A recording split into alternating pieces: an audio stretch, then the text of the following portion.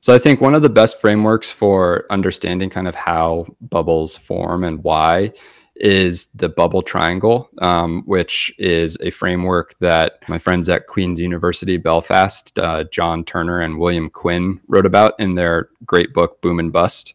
And the bubble triangle is basically a financial recreation of the fire triangle, which is uh, heat, oxygen, fuel, and then you need the spark to kind of ignite the fire.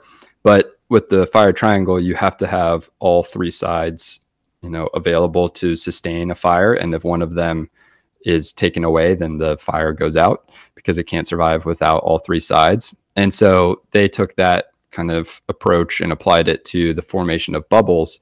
And they replaced the sides with speculation, marketability, and money slash credit.